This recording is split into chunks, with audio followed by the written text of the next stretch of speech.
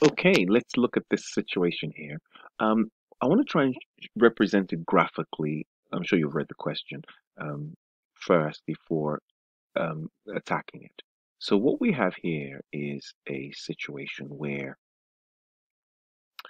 um, here we have our units output and we have our total costs. So we have a situation where we, we start off, of course, with a fixed cost. We can call it A. And we're saying that we get to 25,000 units.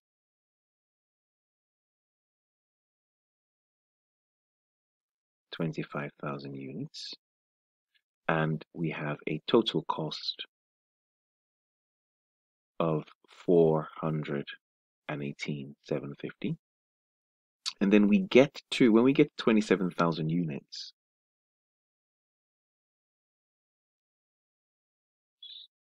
put that over here. It, it goes up, the fixed costs increase by 25,000. So we actually have the our graph changes. The, the, the shape of our graph changes because you just literally have a whole shift in total cost, right? A total cost shift at this point of 25,000. It's 25,000 over here th- that amount. But I'm just letting you know, I'm just going to take that out. But there's a shift. And I'm also going to take this out because really it's not, my graph look not very. And and then what you now have is it it it carries on, right? Because and then at twenty nine thousand, you have a total cost of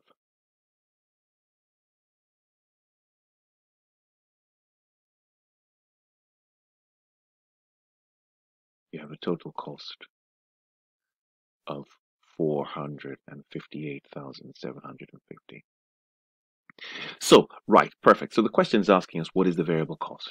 Well, let's just sort of analyze this then. What we are saying, under normal circumstances, what would have happened was that we would have had something that looked like this. We would say, listen, as we go from 25,000 all the way to 29,000, we would have had an increase in costs of from 41,000 sorry for 100 and 418,750 going up to if you like whatever the cost would have been at 29,000 well we know that ordinarily we wouldn't have had this in terms of variability. In terms of variable cost we would have just had something that looked like that right? And would just have worked it out. So it technically would have been down here if there had been no additional fixed cost. So if you can see where I'm going here. So really that this is what I'm really looking for, this distance, because that's what this argument is. This is just a fixed cost. So if we talk about the units between 29,000 and 25,000,